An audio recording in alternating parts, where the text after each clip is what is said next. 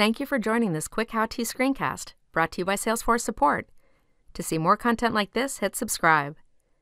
In this video, we're going to learn how to replace semicolons with commas in CSV data imports.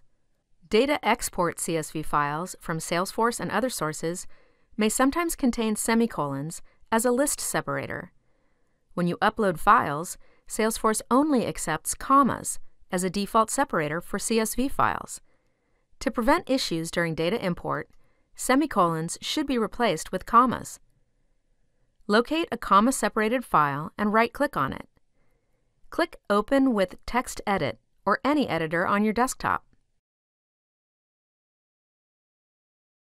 Click Edit from the menu. Select Find and select Find and Replace. Enter a semicolon into the Find What box. Enter a comma into the Replace With box. Click the Replace All button. The file should now be updated. Save the file as a CSV.